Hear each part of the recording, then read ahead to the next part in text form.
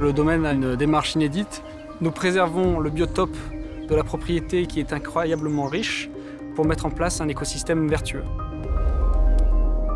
Notre domaine est cultivé en agriculture biologique.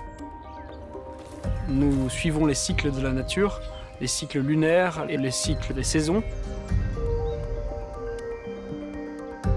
Les arbres ont un impact direct sur la fertilité du sol. Dans un premier cas, ils apportent de l'ombre et donc de la fraîcheur.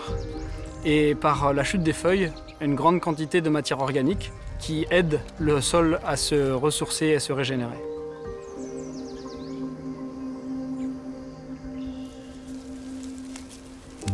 Tout ce qu'on peut tailler et broyer, pré-composter et on réincorpore ça au pied des plantes. Rien ne sort du domaine.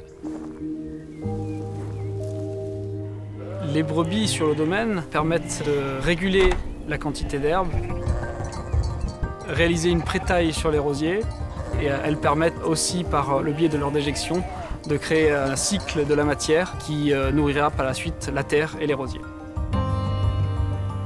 Lancôme a su créer un vrai écosystème de. Donc d'une part avec euh, Grasse, qui est son pilier euh, pour le parfum, mais aussi le plateau de Valençol, qui est plutôt notre pilier pour les produits de soins et de maquillage. Par une agriculture biologique, on cherche à limiter au maximum notre impact sur l'environnement et de ce fait améliorer ou préserver la biodiversité locale.